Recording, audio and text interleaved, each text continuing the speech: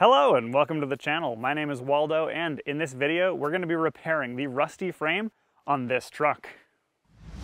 This is my 2005 GMC 2500 HD. I bought it at a salvage auction and it seems like I got a heckin' good deal. It has the highly desirable 6.6 liter Duramax V8 diesel engine. Join me in my adventures as I bring this truck back to its former glory. This truck may look pretty on the outside and from a distance, but underneath it has some rust issues that need to be dealt with if this truck is going to last. In part one of this video series, I talked about how these trucks are largely bulletproof, except for the one Achilles heel, and that is rust and corrosion. These trucks, especially here in the Northeast, get a lot of rust on the frames and the body panels. In this video, we're gonna deal with the frame part of it by ripping the bed off and repairing the frame. If you didn't see part one, you can see here that the bed is a little bit mangled from an accident and also quite rusty. So once I remove this bed, I am probably just going to discard it and replace it with a flat bed. Now to remove the bed, it's got eight bolts holding it in place. I also have to get the fuel filler neck. I have to remove the tail lights and the wiring harnesses for those inside of the bed. Inside the bed, I have to remove the chain attachment points for the gooseneck hitch, and then I also have to remove the wiring for the 7-pin trailer connector over here on the side. Luckily, somebody already removed the bumper, so that makes my life quite a bit easier in that regard. 18 millimeter.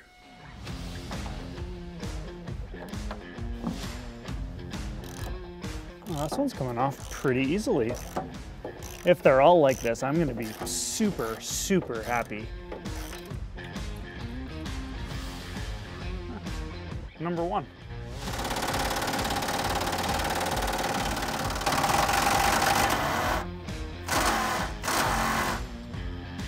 Well, I was just about to say, these have been going really well. Everything's been really easy to get out until this one. The nut that is welded onto the bed of the truck, it broke off. So now it's just spinning around and I have to cut this bolt off.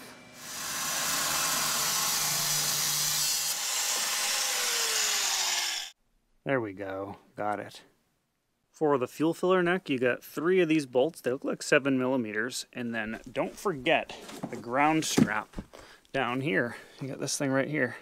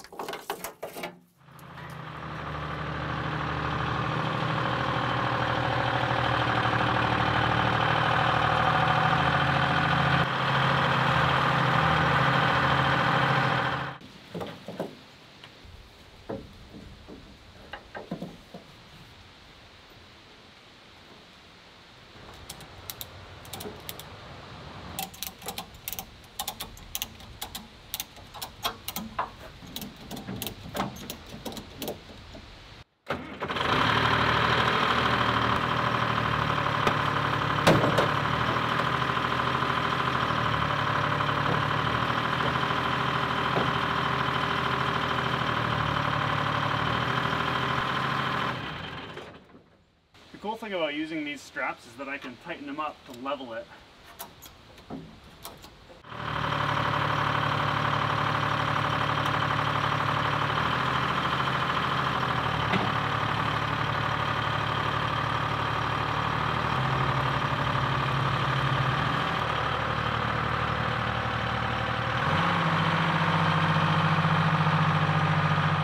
Yeah, so here's a quick look at the frame. Um, there aren't really any major surprises in here.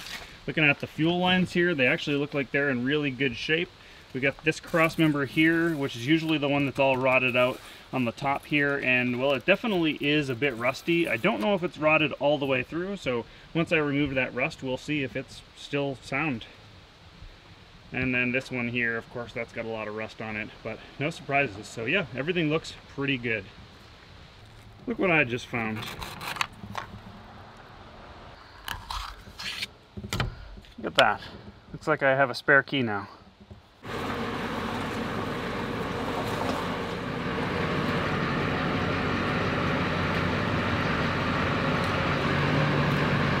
So with the truck here in the shop, it's now time to start removing things from the rear end. So I have to remove the spare tire, the fuel tank, the gooseneck hitch, wiring, stuff like that. Get it out of here so that I can get in here and start removing rust.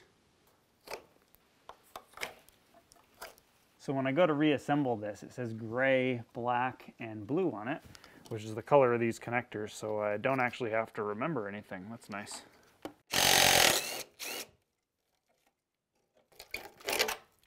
I found the tool to lower the spare tire, and the date code on the spare tire here says it's from the 16th week of 2005, so this is also the original spare tire for the vehicle, and, well, it looks like it. Never been used. Probably only need one section here, so you got this end here, goes in and hooks over that, and then this goes over this, and then you can, that's tightening it, so you just spin it around and it lowers the spare, and look, it still works. On my uh, blue GMC, this thing was rusted out like crazy. I mean, it didn't even work. I had to replace it. That is a rusty wheel.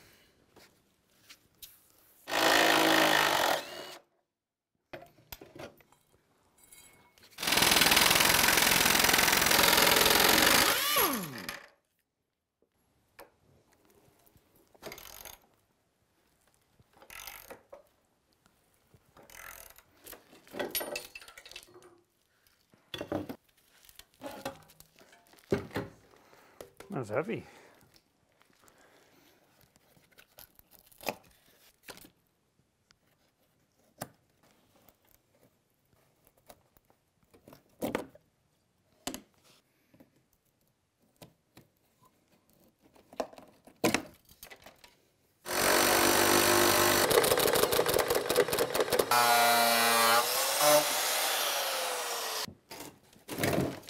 There it is.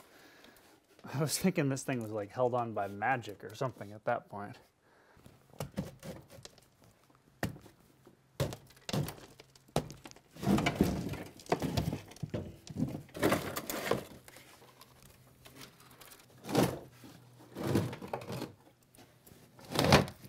So for the process of getting rid of all this scaly rust, I bought a needle scaler. This is a high quality Chicago pneumatic needle scaler, not to be confused with Central Pneumatic, which is a Harbor Freight brand. They also have Chicago Electric. It's almost as if they're trying to be confusing on purpose, but this is a high quality tool that should last a long time and should be able to handle quite a bit of abuse. Owner's manual, uh, here it is. They also have one that has a pistol grip, but I figured this one gets into tighter spaces, so this is probably the right tool for this particular job. All right, let's see how this thing works.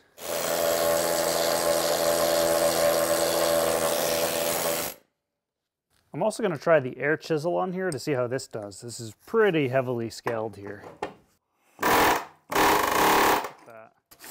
Yeah, you know, this thing actually does a much better job on this. I'll put a link to this in the description below, and I'll also put a link to the needle scaler in the description as well. I think that is good for a different type of job, but when it comes to raw power that you need, yeah, this thing's the way to go. Oh, look at that. That is fantastic.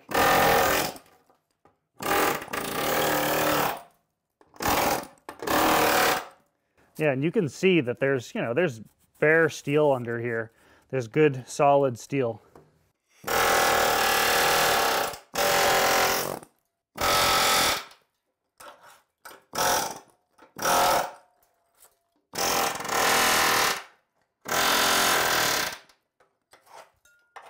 So I want to start with this cross member right here, and as I suspected, there's a lot of corrosion right under here. In fact, as you can see, it is all rusted out under here. The cross member also has some spots over on the other side that are getting pretty thin, and there are a few holes because the metal just rusted so much and it's so thin now. So I am going to replace this whole cross member with a new piece of metal. I'm going to use this piece of two and a half inch Schedule 40 pipe. It is almost the exact same diameter as the cross member, except this pipe is a little bit thicker, but I don't think that's a bad thing. This has a little bit of surface rust on it, but that's just because it was sitting in my steel supplier's scrap pile.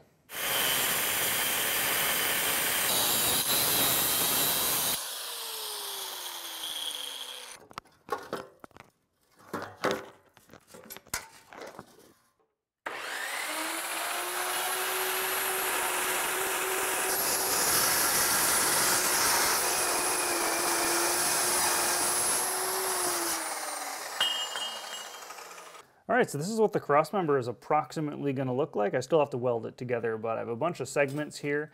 These bends are about 17 degrees, so I made eight and a half degree cuts on each of the pieces. And uh, yeah, so now we got to grind these down and weld it together.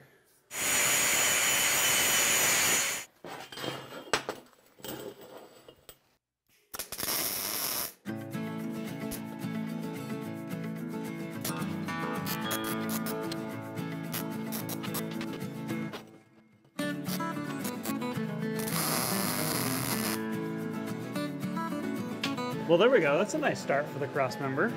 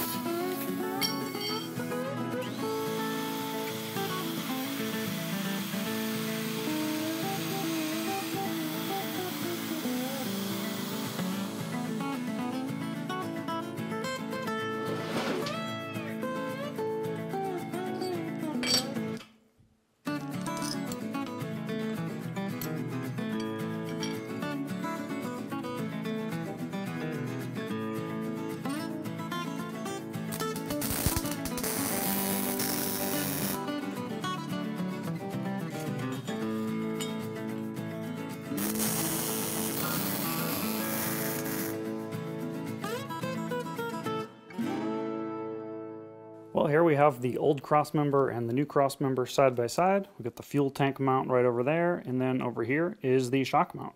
As for the exhaust hanger, I'm going to weld that on right around here, but I'll do that later once it's installed on the truck so I can get the position just right.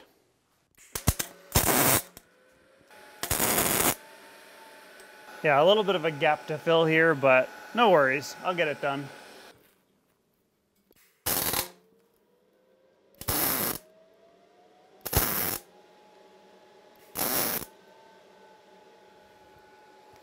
So with this middle cross member all welded in, my attention is next moving up to this cross member up here by the cab.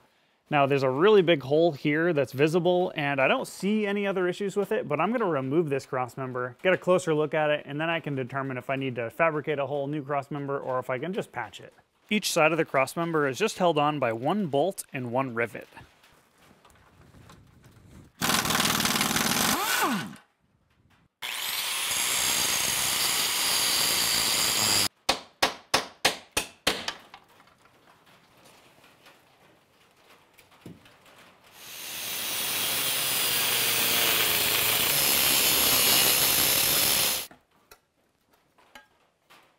Yeah, it looks like this is still pretty solid metal here, so I cut this at a good spot.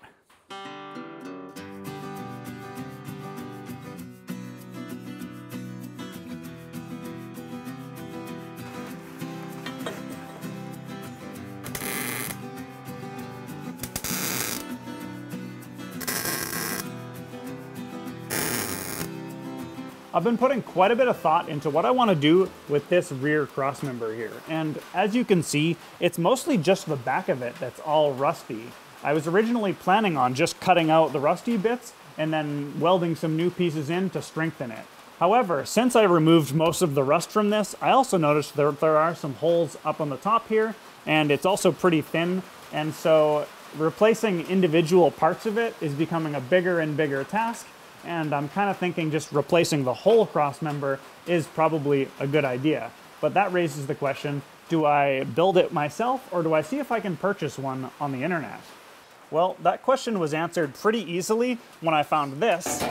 Now GM has discontinued this rear cross member as far as I can tell, but I found a company that makes these and sells them on the internet. And uh, it actually seems like it's probably stronger than the original cross member. It was for a pretty fair price, so I figured, well, let's just do it this way, and it'll make my life quite a bit easier. Although there is no doubt I could fabricate my own if I wanted to. Removing the cross member is pretty simple. It's just a matter of cutting these rivets and then it should just come right out.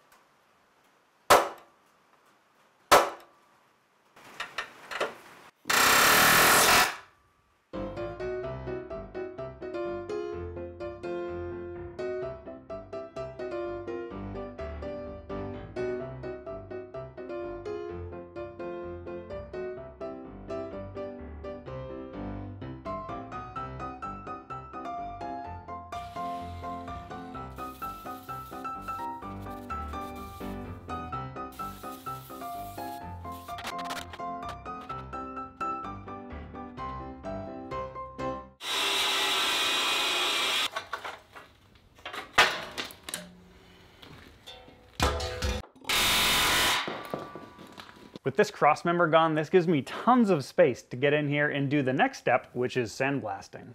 I'm going to be using coal slag as an abrasive media because it's cheap, I can get it locally, and it works pretty well.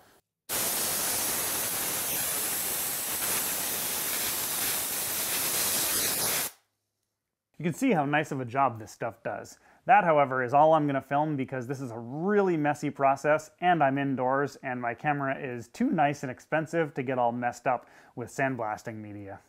Eventually. Well, I got the frame of this all sandblasted and I even started spray painting it with some of this. It is uh, Rust-Oleum semi-gloss enamel and this stuff is specially formulated to make the frame look good in a YouTube thumbnail. Beyond that, I don't expect it to provide any significant long-term protection from rust. Uh, that is going to be done by the oil undercoating that I'm going to apply at a later date. That's something that I do to my vehicles once a year, actually around this time of the year in the fall.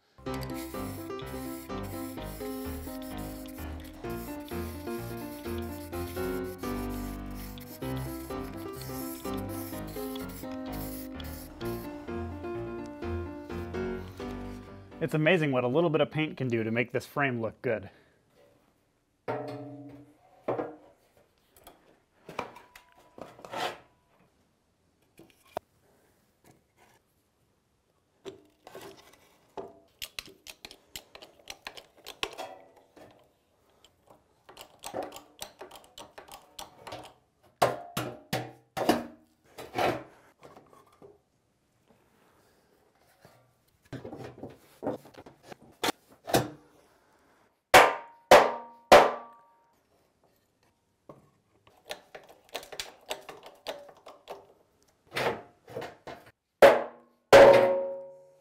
When is a hammer ever not the correct answer? This crossmember came with all the hardware I need to replace the rivets with good old-fashioned bolts.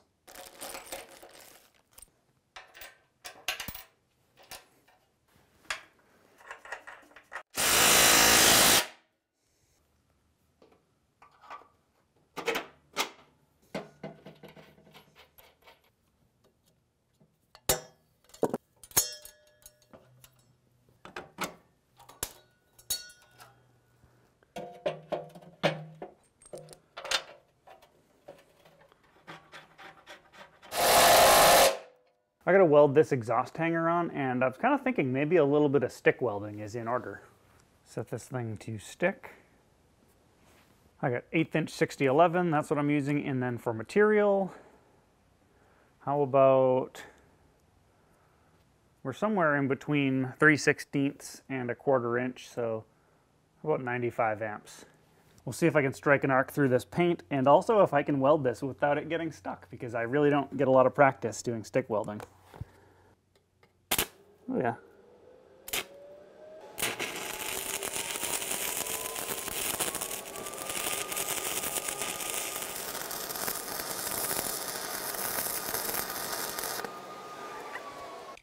It's not very visually appealing, but it should be strong enough. Upon closer inspection of the gooseneck hitch, once I removed all the old powder coating and the rust from it, I was able to determine that it's still structurally sound, and so that I can reuse it. That's really good news because these hitches generally have an MSRP of around 500 to $600.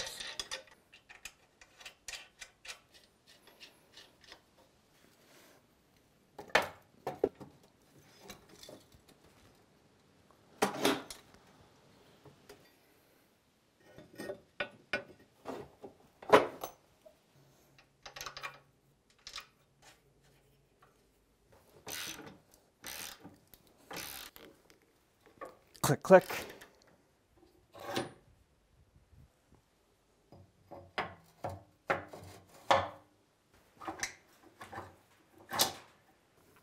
There we go. That's not going anywhere. I also bought a new bumper pull hitch because, well, this truck didn't have one when I bought it. This is a class 5 hitch that can handle more weight than this truck can tow, and it only cost $240. Well, that's the hard part done.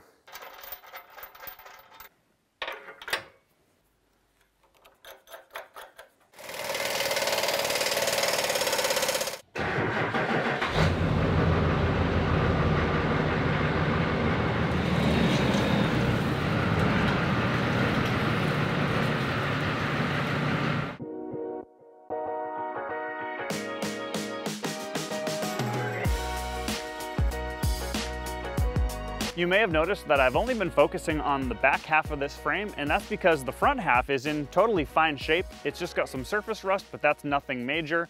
All I did for the main frame rails on the back is just remove the loose rust, and that'll prevent water and salt and stuff from hanging out in all the little crevices. You saw that the cross members all needed to be replaced in the back. That was to be expected, but those are all in good shape. While I was filming this video, I was also ordering parts for the aluminum flatbed, which is going to happen. I just purchased some extruded aluminum decking for the flatbed, which is gonna make it light and really strong. So keep your eyes open for that. It may be a while before the video comes out because I still have to procure a lot of parts and I still have to do some designing, which is quite a bit of work, but it is going to be a really exciting build. Thank you so much for watching and we will catch you in the next one.